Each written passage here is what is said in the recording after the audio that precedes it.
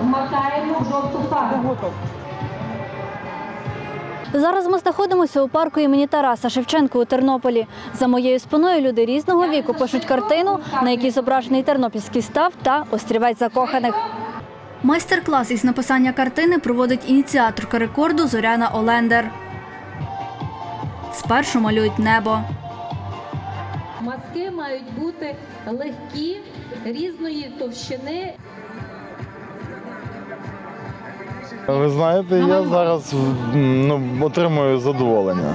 Щиро отримую дійсно задоволення. Я не думаю, я просто знаєте, щось роблю таке дуже приємне для себе, для душі. Прийшли разом з дітками, тому що їм цікаво.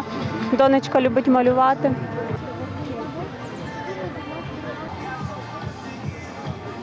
Я малюю дерево, мені подобається. Мені цікаво, це свіже повітря, мене вдохля... е, е, цей свіже повітря, і я так я гарніше малюю. Наймасовіший майстер-клас з писання картин на полотні на мольбертах оголошено рекордом України. Дякую організаторам. Дякую.